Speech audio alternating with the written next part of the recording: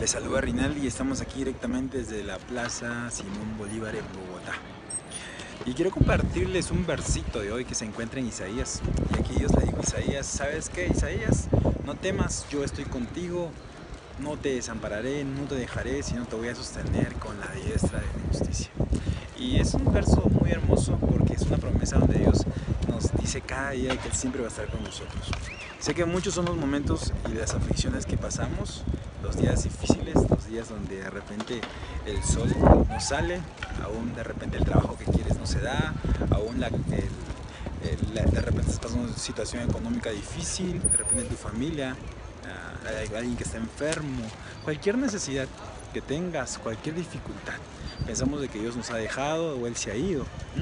Así como los discípulos cuando estaban en la barca pensaron de que cuando Jesús se durmió que Él ya no estaba con ellos y que se había ido y que se iban a hundir, pero lo que ellos no sabían es que Jesús estaba ahí.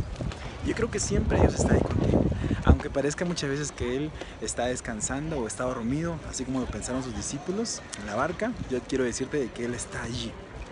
Basta que Él se levante, eh, puede calmar a una tempestad, puede calmar aún toda situación o condición de la, de la circunstancia que estés pasando. Y en esta mañana quiero aprovechar para decirte de que confíes en Dios y creas por fe siempre que Él está contigo. Acciona tu fe, muévete en fe y declara esta promesa, que Él nunca te va a dejar, sino Él te va a sostener siempre, cualquiera sea tu circunstancia, cualquiera sea eh, el lugar donde te encuentres, cualquiera sea el camino donde estés, Él siempre va a estar contigo. Tenga un día bendecido, dale gracias a Dios, honrale a Él, Él está ahí contigo. Bendiciones.